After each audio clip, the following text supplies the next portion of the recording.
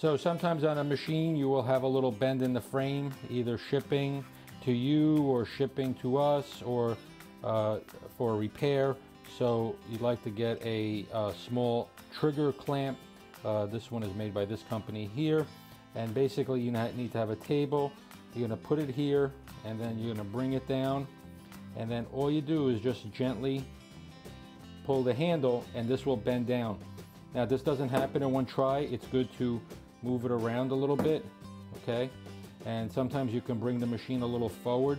If you if it's back here, you basically want to get a deeper and a larger one. So this is a very small one. And again, just tighten and little by little, it will bend back. If it doesn't, hold the machine on the opposite end because the opposite corner of the machine can lift, so you may need to hold it. Okay, so that's a quick way to uh, straighten a uh, machine, espresso machine frame.